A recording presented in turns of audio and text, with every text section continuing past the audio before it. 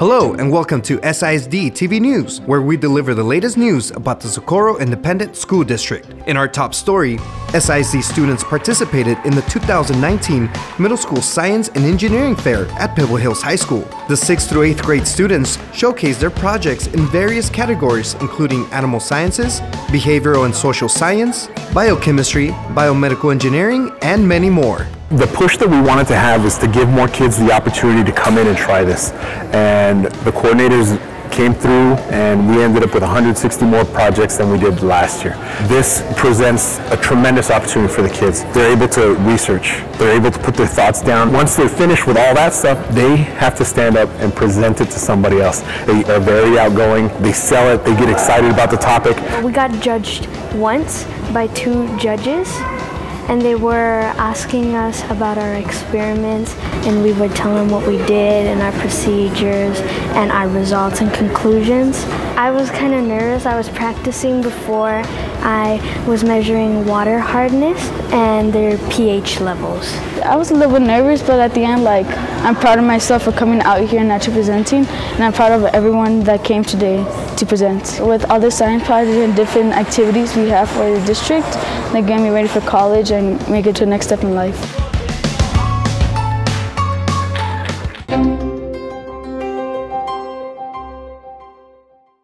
Socorro ISD Superintendent Dr. Jose Espinoza met with students and parents at their Superintendent Advisory Councils at Pebble Hills High School. Students and parents received an update on Bond 2017 construction projects, things happening around Team SISD, and got the opportunity to learn and see many of the programs at Pebble Hills High School. My overall thoughts, I've never thought that it's possible to even have a vet inside of a high school.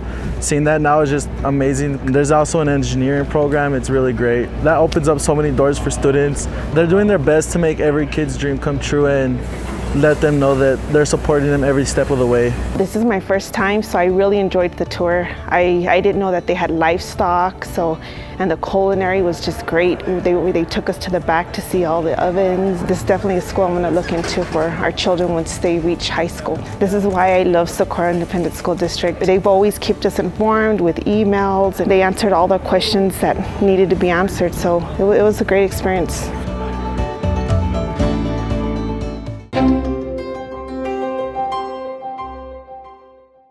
SISD Board Trustee Paul Garcia read to second grade students at Jose F. Carrasco Elementary School. Garcia, together with the Grinch, encouraged students to be kind and continue reading. Uh, I wanted to put out a message that uh, it's okay to be different. The Grinch is obviously very different, and I think the kids got that message. They went through a roller coaster of emotions, excitement, suspense, empathy. They were feeling, you know, sorry for the Grinch, and you know, at, at certain times, the way that they just embraced them. At the end, the Grinch says, "I just want a hug. You know, I'm, I'm, I'm a little different."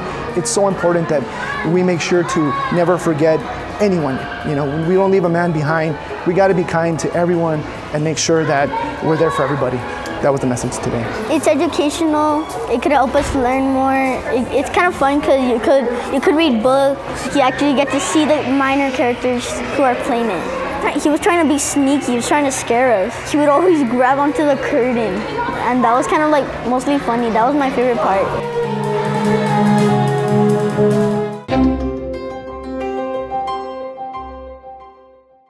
Horizon Heights Elementary School, in partnership with Burger King, donated Christmas meal baskets to El Paso Community College students. The initiative was driven to help college students who may be struggling financially, resulting in a lack of regular meals. We know that there's other kiddos that don't have you know, the ability to maybe go grab a pizza when they want to, go to the movies, or their parents can't get them Christmas gifts. The kids asked us who they could contact to help out so they could give also. Kindness is something that goes a long way. We've already given 150 baskets to Socorro Independent School District's students, custodians, cross guard monitors, and today we wanted to help college students that may be stressing right now with finals and Christmas season in general. We have El Paso Community College that has a food pantry for college students, and we need to give back to them as well. So we really would like more people to participate in that.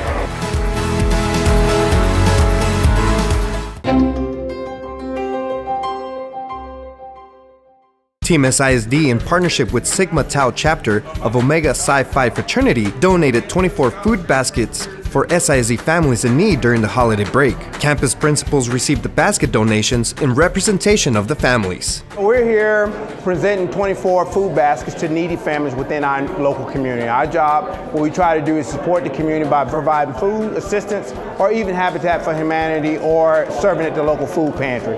As your slogan say, El Paso Strong, and in order to keep El Paso strong, you got to be willing to contribute to the community. This is a tremendous gift for them. It's a gift of a, a meal that, of course, can last the span of a few days. So it's just one less thing that they really have to worry about. And having them be so grateful about everything, you know that they're going to use it to the max. It's nice to be able to have all of these things to give to, to our families that are in need right now.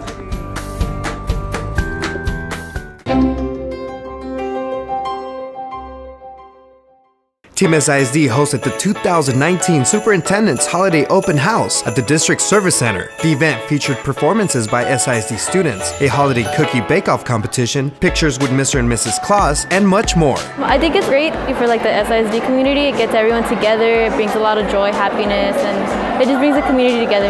You get to see all the people enjoy the music. You get to see how they come together, and, and you get to see the joy they get out of hearing the entertainment. As a family, it got us uh, together we get to see them make some cookies or Christmas tree activities. It's great so far. We like it here and we hope to do more activities with the district.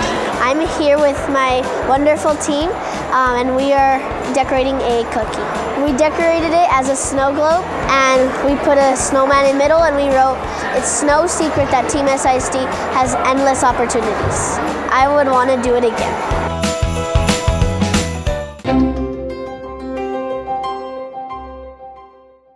El Dorado High School student athletes signed their letters of intent to play at universities and colleges across the country. It feels kind of unreal because this is something I've dreamed about since I first started playing soccer. So the fact that I actually was able to accomplish this goal is just amazing. I feel like greatly my coaches have contributed, both my city coach and my high school coach. I think they prepared me to go on to the next level with confidence. It feels amazing. Like I never thought this day would come, but it has. I'm signing to Midland College for softball, just having support being SISD. I just want to say thank you to them. That's our show for today. I hope you've enjoyed learning about the latest in the Socorro Independent School District. Make sure to follow us on Twitter with the Twitter handle at Socorro ISD. Follow our superintendent, Dr. Jose Espinoza, with the Twitter handle at jespinoza underscore SISD. Also be sure to friend us on Facebook and visit our website. Thank you again and see you next time.